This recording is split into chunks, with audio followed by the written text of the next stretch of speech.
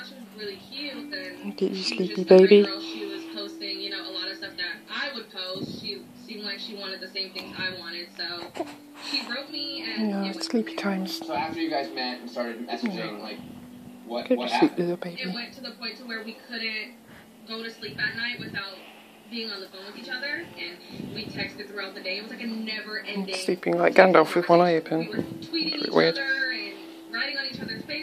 Facebook walls. You were virtually inseparable. Yeah, she was living in Texas. I was living in California. Trying to rock him to sleep. He's having his we both usual decided to just make afternoon grumpiness. At that point, would you say that you guys were in love with each other? Definitely.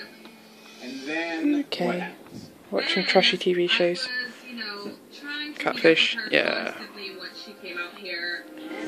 Come on, baby, go to sleep.